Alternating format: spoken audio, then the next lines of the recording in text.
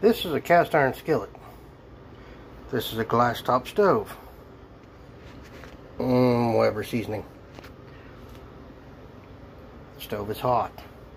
Where the pan is. You can cook cast iron.